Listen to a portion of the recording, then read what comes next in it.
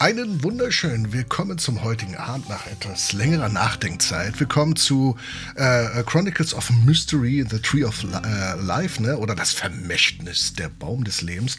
Wir machen da weiter, logischerweise wie immer, wo wir aufgehört haben. Und scheinbar haben wir beim letzten Mal hier bei dem Jungen aufgehört. Guten Abend, Kata. Es gibt nichts zu diskutieren. Genau, sehe ich genauso. Es gibt nichts zu diskutieren. Ähm. Hatten wir nicht ein Notizbuch, was wir tun sollen oder so? Nee, ne? Journal? Nee. Gab's hier nicht. Was hatten wir denn gemacht?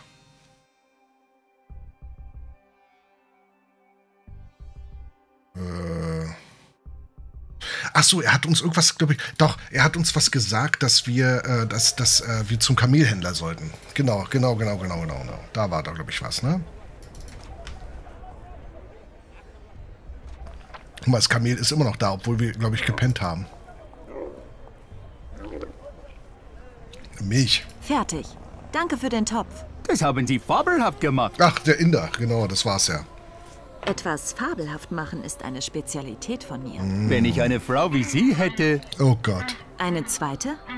dann könnte ich frische Kamelmilch an Ausländer verkaufen. Niemals. Wäre Ihr Vater nicht einverstanden? Ich bin erwachsen. Das hat damit nichts zu tun. Ich mache nur Spaß. Ich habe einen Fernseher in meinem Zelt. Ich weiß, wie das in Europa gemacht wird. Würden Sie mit mir zu Abend essen? Danke, aber ich bin heute Abend beschäftigt. Warum, warum äh, äh, kaut er die ganze Zeit? Äh, wahrscheinlich Kautabak. Und äh, weil Frauen Kamelmilch. genau. Und warum ist er.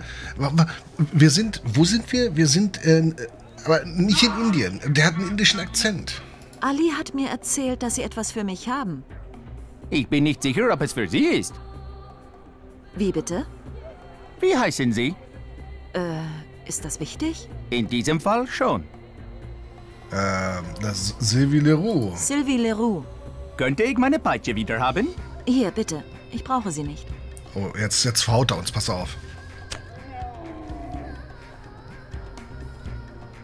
Hier sind Ihre Papiere. Wo haben Sie sie her? Mein Schwager arbeitet am Flughafen. Ist alles da? Ja, danke schön. Tschüss. Schauen Sie mal wieder rein.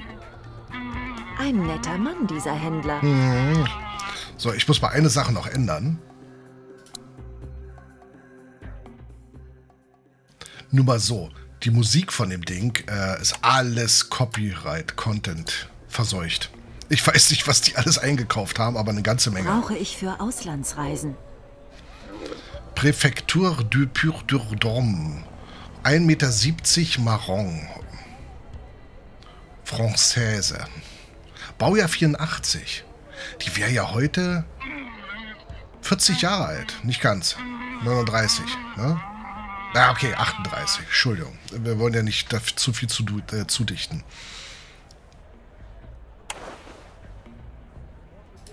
Ja, ablassen kann man immer noch. Danke, Katha. Oh oh. Dann, dann, dann, dann, dann, dann.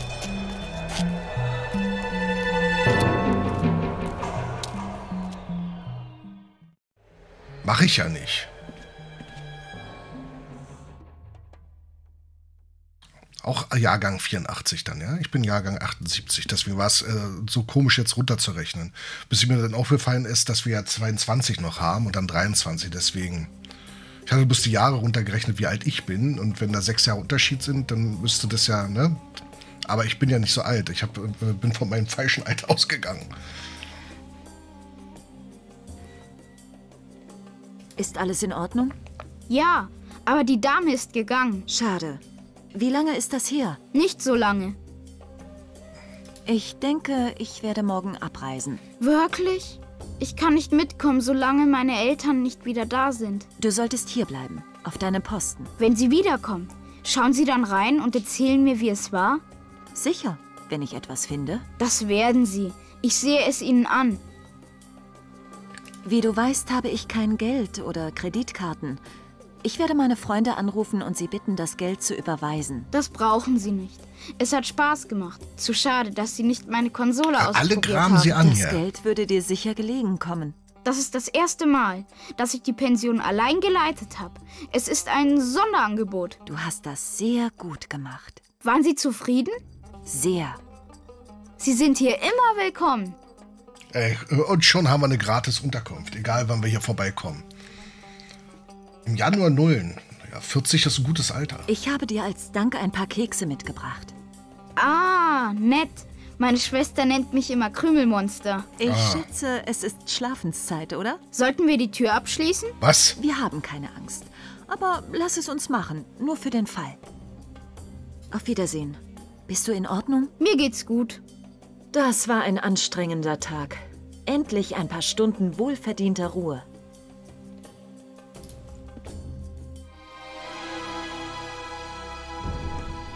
Wachen Sie auf! Fatima ist tot! Was? Was sagen Sie da? Ermordet. Und wir sind die Nächsten. Warum? Wir müssen fliehen.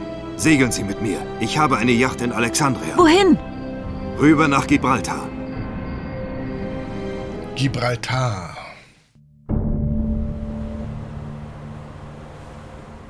Sie brachte uns auf die richtige Fährte. Ich glaube, er kam zu ihr. Woher weißt du, wohin er gesegelt ist? Das ist offensichtlich. Dann ist er so gut wie tot. Das ist, glaube ich, der Killer unter den dreien, oder? Hier sind wir sicher, auf offenem Meer. Was ist in Kairo passiert? Das müssen dieselben Leute gewesen sein. Wie haben Sie mich gefunden, Graf? Der Antiquar hat mir verraten, wo sie waren. Dann habe ich ein Treffen mit Fatima arrangiert. Es tut mir so leid wegen ihr. Wir hatten so viel gemeinsam.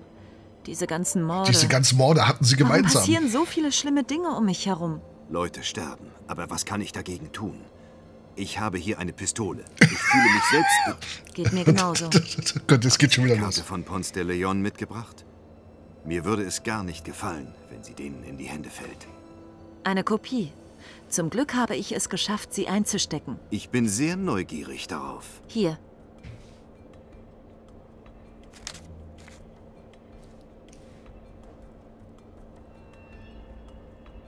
Die Insel kenne ich. Oh, ich kann keine Koordinaten erkennen. Fatima hat mir erzählt, dass sich der zweite Teil der Karte, der mit den Koordinaten, irgendwo in Gibraltar befindet. Ja, das ist unser Ziel. Wo wir gerade über die arme Fatima reden, sind Sie an dem Krug ohne Ausgießer interessiert? Woher haben Sie den? Ich habe ihn einfach mitgenommen. Mitgenommen? Sie haben nichts dafür bezahlt? Ich konnte nichts anderes mehr tun. Aha, Fatima okay. hatte ernsthafte Zweifel. Hatte sie vor ihnen Angst? Wenn man in einer Zwickmühle steckt, ist jeder ein Feind. Hat er sie ihm umgebracht? Graf, müssen Sie wissen, warum? Denn wer sein Leben erhalten will, der wird es verlieren. Aber wer sein Leben verliert um meinetwillen, der wird es finden. Aber Sie, im Gegensatz dazu, töten, um Ihre Leben zu behalten. Wer, das ist ich? schwer zu glauben, Graf. Ich versuche mich daran zu erinnern, wen ich so sehr verletzt habe. Wen? Ich versuche mich zu erinnern. Aber alles, was ich sehe, sind altertümlich gekleidete Leute, die in Palästen herumspazieren. Ein Maskenball? Wer sind diese Leute? Rakozzi, Prinz von Transsilvanien. Oder Horace Walpole, mit dem ich über meine Haft gesprochen habe. Walpole. Walpole, der Schriftsteller? Ich kann Jean-Jacques Rousseau sehen. Katharina die Große. Nein, lassen Sie uns von etwas anderem. Der Typ ist schon zig Jahre alt. Gibt es jetzt etwas Wichtigeres, als die Antwort zu finden, warum Fatima sterben musste? Vielleicht. Ich frage mich, was die Bilder in meinem Kopf bedeuten. Sie sind so lebendig, so detailliert, als hätte ich vor 200 Jahren dort gelebt. Nicht als hätte. Könnten die vergangenen Ereignisse den Tod dieser Frau verursacht haben? Das können nur Sie wissen, Graf. Mein Kopf zerspringt. Die Schmerzen werden schlimmer. Dann Sind hat er eine Sie Pistole. seekrank? Das ist keine Seekrankheit. Etwas in mir drin versucht, an die Oberfläche zu gelangen, sich zu offenbaren. Es zehrt an Oh, mir. Alien. Wie kann ich Ihnen helfen? Ich hätte gerne eine Tasse Tee. Ich werde mich hinlegen.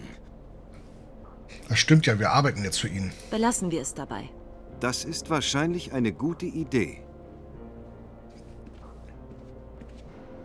Er hat zugegeben, den Krug genommen zu haben. Könnte er der Killer sein? Was war denn vorher? Er hat Marcel kontaktiert, aber es nicht geschafft, die Kiste zu kriegen. Und der Gondoliere?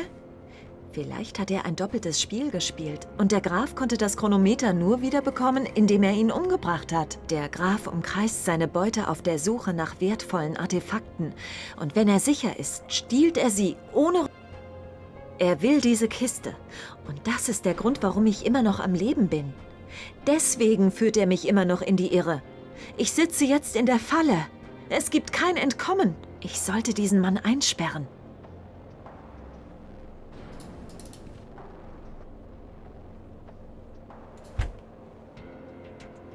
Geht nicht.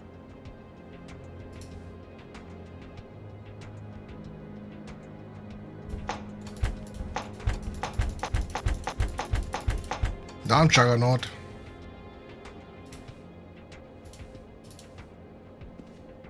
Saint-Germain ist ein Bosch-Liebhaber. Ziemlich gute Reproduktionen. Passend zu der... Ein Bosch-Liebhaber, okay.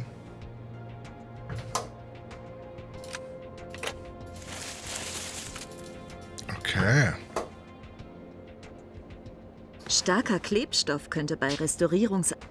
Arbeit nützlich sein. Knotenknüpfen habe ich schon lange nicht mehr gespielt. Was?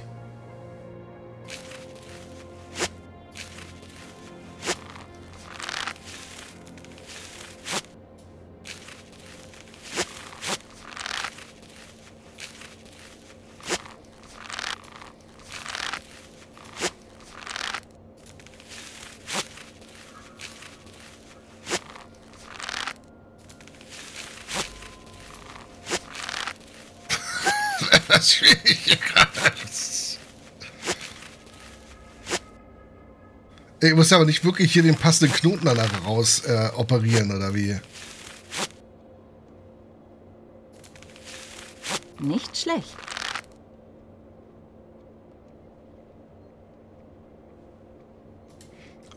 nee, wir haben den Knoten schon entwirrt oder äh, verwirrt. Saint-Germain ist ein Bosch-Liebhaber.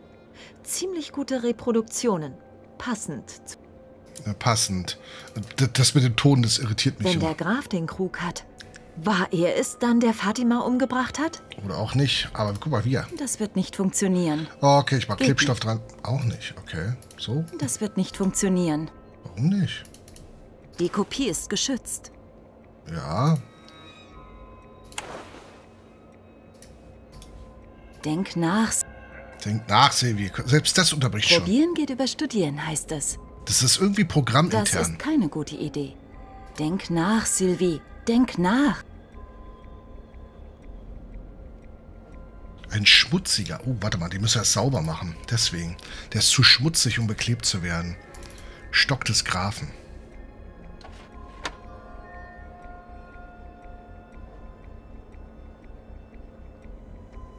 Schöne Handarbeit aus dem 19. Jahrhundert. Eine solide Handauflage.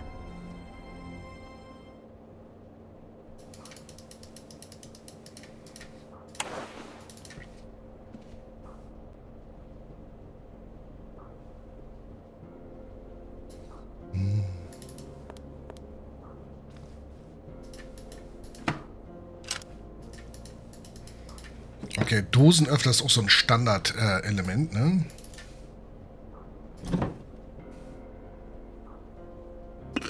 Ich habe ein. Ich habe eine Dose. Das reicht. Riecht gut. Das könnte jemanden in Versuchung führen. Wen denn? Ich habe ein. Ja, ja, ich, ich habe eine. Okay. Wer könnte denn Dosen essen? Also Dosenfleisch. Staft. Oh. Das wird nicht funktionieren. Wahrscheinlich ist es für einen Hund, wa?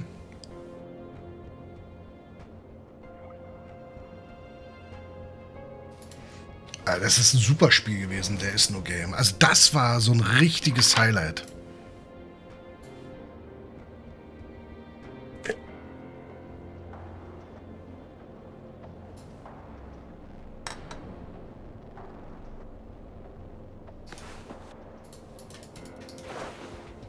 Probieren geht über Studieren. Wir brauchen eine Alternative. Die würden einen Ochsen schlafen legen.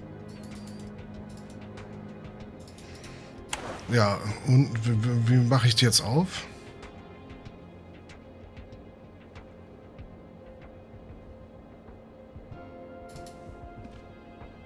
Der Graf muss Millionen für diese Yacht ausgeben. Guck mal, da sind wir gestartet und da geht's hin. Sieht wie eine Konsole bei Star Trek aus. Mit Ich weiß CK. nicht, wo ich anfangen soll. Ich weiß absolut nichts darüber, wie man so ein Boot steuert. Mangels einer besseren Idee könnte ich den Kurs ändern. Aber ich schätze, nur der Graf kann ihn wieder korrigieren. Sie zu benutzen ist vielleicht einfacher, als es auf den er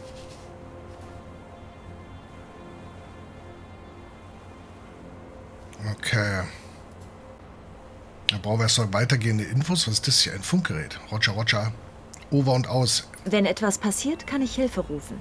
Wenn etwas passiert. Okay, solange nichts passiert, rufen wir keine Hilfe. Verstehe. Der Graf hat eine Pistole erwähnt, aber ich kann sie nirgends finden.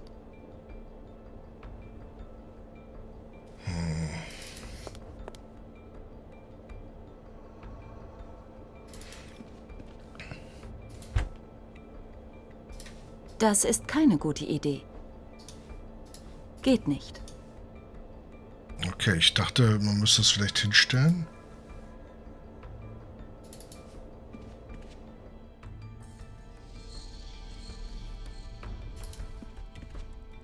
Es ist kühl. Ich gehe be Besser wieder rein, okay. Aber ja schon eine EU-Flagge. Zodiac CC. Schon cool, wenn so ein, so ein, so ein äh, Boot ganz alleine rumschippert, ne? Ich muss doch... Ach, jetzt geht's. Der Graf sollte nach diesem Tee schnell einschlafen. Fällt überhaupt nicht auf, dass da was drin Ich ist. sollte die Polizei über den Mörder an Bord informieren. Ach, Silvi, denk doch mal nach. Wenn er der Mörder ist, dann wärst du gar nicht mehr am Leben. Aber ich glaube, das ist...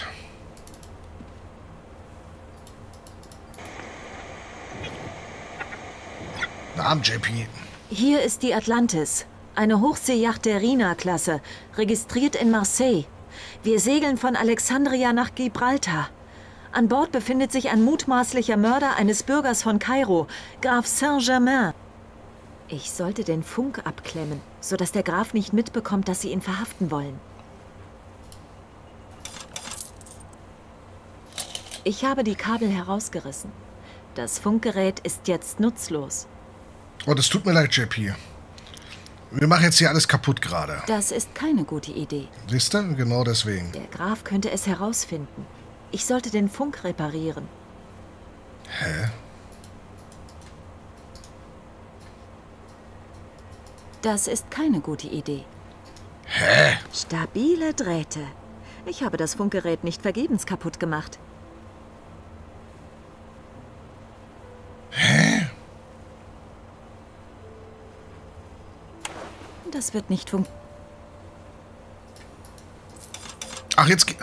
Oh. Gutes Nachdenken, JP. Ebenso, ebenso. Schönes Wochenende.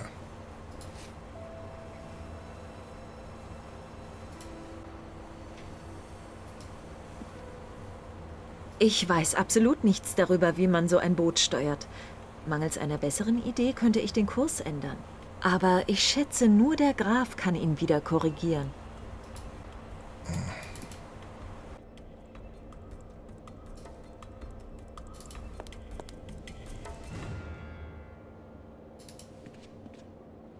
Graf, sind Sie wach? Mir ist nicht nach Schlafen zumute. Können Sie mal herkommen? Jetzt nicht. Ich muss über etwas nachdenken. Der Graf ist nicht eingeschlafen. Eigentlich will ich seine Kabine durchsuchen. Ich muss ihn nur dazu bringen, sie zu verlassen. Vielleicht wird ihn eine Kursänderung. Lange genug herausloggen. Ach, jetzt kommen wir auf den Trichter mit der Kursänderung. Okay. Dann ändern wir mal den Kurs, war? Ich habe den Kurs Oh. geändert. Jetzt kann ich dem Grafen Bescheid sagen. Jetzt fahren wir zum Stiefel. Nach Sizilien. Hauptsache Italien. So. Ja, Ups. ich schlafe nicht tagsüber. Können Sie auf die Brücke kommen? Das Boot ist nicht mehr auf Kurs. Was ist passiert? Ich bin früher ein wenig gesegelt. Da dachte ich, ich nehme mal das Ruder, nur so aus Spaß. Wir haben keine Zeit für Späße. Ich werde es mir ansehen. Gut, dass ich es geschafft habe, den Grafen aus der Kabine zu locken. Der Graf hat seinen Tee nicht getrunken.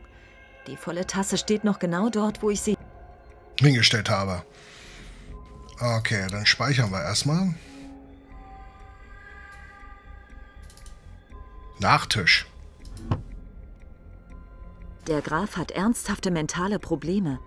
Ob ich ihm wirklich... Angstneurose. Nosophobie. Hm, Nosophobie?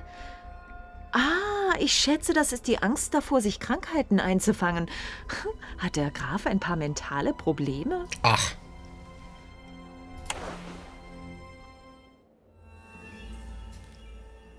Nosophile? Ein Medikament gegen Neurosen? Ein Rosenmedikament, okay.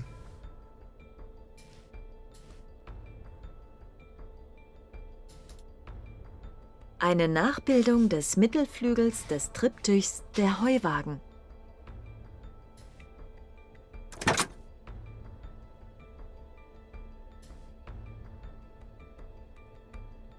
Ich kenne die Kom Okay, sie kennt die Kombination nicht.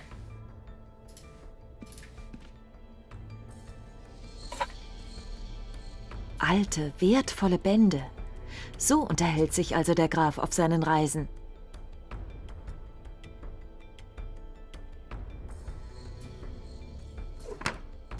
Da ist die Pistole. Jetzt, da ich sie habe, kann ich dem Grafen gegenübertreten.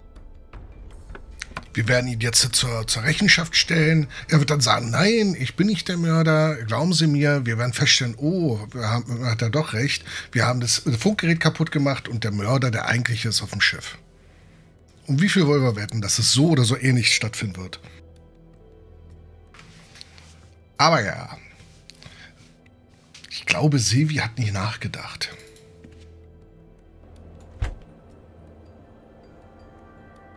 So. Achso, vielleicht. Äh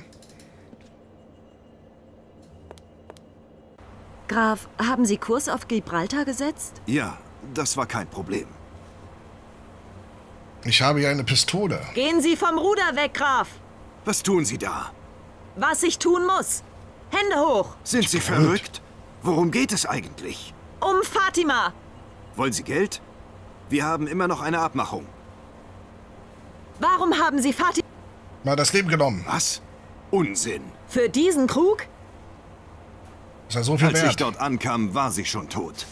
Und Sie haben sich den Krug geschnappt und sind einfach gegangen, ohne die Polizei zu rufen. Sylvie, versuchen Sie das zu verstehen. Ich hatte keine Zeit. Wenn ich die Polizei gerufen hätte, würde ich immer noch auf der Polizeiwache sitzen und aussagen. Als Verdächtiger. Möglicherweise. So arbeitet die Polizei. Sie glaubt, dass der Erste, der ihnen in die Finger kommt, ein Verdächtiger ist. Wenn ich in Kairo geblieben wäre, wäre ich früher oder später tot gewesen. Kein Polizist würde mich vor ein... Vergifteten Feuerwehr schützen. So werden Sie sich kein Alibi verschaffen. Denken Sie über die Tatsache nach, dass die Killer jeden erledigen, der irgendwie mit der Kiste des Conquistadors... Zu tun hat. Vielleicht haben die auch schon denjenigen in Gibraltar aufgespürt, der die Karte mit den Koordinaten hat. Nur wir können einen weiteren Mord verhindern. Wissen Sie, was ich glaube, Graf? Ja? Sie benutzen mich, um nach und nach an die Artefakte zu kommen. Wenn ich sie alle gefunden habe, erwartet mich dasselbe Schicksal wie Fatima und Ma... Das ist nicht wahr. Ich manipuliere sie nicht. Und Sie waren es, die sie zum Palazzo Celeste geführt hat. Darum mussten wir verschwinden. Sie haben das inszeniert, Warum sollte ich so etwas tun? weil ich nicht zu Ihren Bedingungen für Sie arbeiten wollte. Sie wollten bei mir den Eindruck erwecken, ich hätte keine andere Wahl. Und der Gondoliere? Er geriet außer Kontrolle. Sie wussten nicht, wie Sie das Chronometer zurückholen sollten. Ich sehe, Sie halten mich für ein Monster. Erschießen Sie mich. Machen Sie dem ein Ende. Oh nein! Bevor Sie Ihre gerechte Strafe erhalten, müssen Sie der Welt erklären, wer Graf Saint-Germain ist. Wer bin ich? Ich bin das Wild, das alle Welt hetzt. Und nun hat sich mein letzter Verbündeter... Na, Atalantaner. Graf, ich weiß nichts über Sie. Sie entschuldigen sich immer wieder mit Gedächtnislücken. Vor über einem Jahr versuchte jemand, mir das Leben zu nehmen. Tatsächlich haben sie es geschafft, die Hälfte zu bekommen. Das Leben ist der Augenblick plus die Erinnerung. Und wenn ich versucht habe, etwas über mich herauszufinden, scheuchte das meine Verfolger auf. Aber ich weiß eins. Mein Halbleben nähert sich seinem Ende. Es sei denn, ich gehe zu der Insel auf der Karte und finde ein Heil. Reden Sie von einer tödlichen Krankheit? Es gibt nichts zu reden. Der Tod ist alltäglich geworden, wie das tägliche Brot. Spricht denn etwas für Sie? Nun, ich glaube, Sie sind der Köder, der Sie zu mir führen soll. Dann werden Sie uns... Jetzt geht das schon wieder los. Wer sind Sie? Sie werden mich nicht in die Irre führen. Warum hätte ich Fatima umbringen sollen? Ich wollte nur mit ihr reden und vielleicht den Krug kaufen. Ich kann ihn mir leisten. Weil sie abgelehnt hat. Sie hätten mir geholfen. Sie haben sich mit ihr angefreundet. Sie hatten es eilig. Sie wollten nicht warten. Darum haben sie sie getötet. Aber wenn die Jagd auf mich nur eingefädelt war, warum hätte ich mich dann beeilen müssen? Ich kenne nicht alle ihre Geheimnisse. Das lässt sich leicht sagen. Unter Gondoliere. Warum sollte ich meinen eigenen Mann vor ihren Augen töten und die Aufmerksamkeit der Polizei auf mich ziehen? Ich hätte es heimlich und leise im Palazzo Celeste tun können. Sie wollten mich damit hineinziehen, mich von ihnen abhängig machen. Unser Schicksal hätte uns sowieso zusammen. Auch wenn ich Ihre Theorie akzeptieren würde, könnte ich dieselbe Frage stellen. Warum sollten Ihre Verfolger den Gondoliere vor meinen Augen töten? Das kann ich nicht erklären. Ich kann nur sagen, was Sie über mich gesagt haben. Sie wollten sie mit hineinziehen. Sie hätten mich... Da stimme ich Ihnen zu. Unentschieden. Wie Sie sehen, ist nicht alles nur schwarz oder weiß. Ich vertraue Ihnen nicht. Haben Sie vielleicht geplant, mich hier zu töten und meine Leiche ins Wasser zu werfen? Das ist die Angst, in der Bewegung eingeschränkt zu sein. Klaustrophobie. Habe ich Ihnen irgendeinen Grund gegeben, Angst zu haben? Sie haben mich in dieses Chaos hineingezogen. Ich habe Sie zu nichts gezwungen. Außerdem starb Ihr Freund vom Museum in Frankreich. Damit hatte ich absolut... Ein Brief. Sie haben ihm einen Brief geschrieben. Aus Stress und Angstgefühlen heraus haben Sie sich die schlimmstmögliche Version ausgedacht. Diese Kiste und das damit verbundene Rätsel sind der Grund für diese ganzen Unglücke. Genau. Ich wüsste gern, wer hinter diesen Vorfällen steckt. Ich bin es nicht. Ich habe zweimal Ihr Leben gerettet. Ich habe keinen Grund, Ihnen weh zu tun. Ganz im Gegenteil. Ich zähle auf Sie.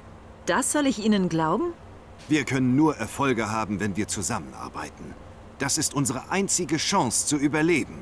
Und vielleicht sogar etwas Großes zu erreichen. Nun, ich schätze, ich könnte Sie sowieso nicht erschießen. Danke, dass Sie mir ausnahmsweise vertrauen. Es wäre wesentlich einfacher, wenn Sie mir Ihre Geheimnisse anvertrauen würden.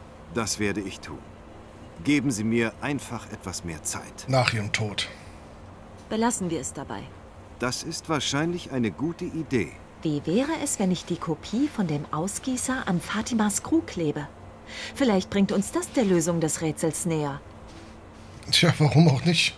Nachdem wir unseren Chef fast umgebracht hätten.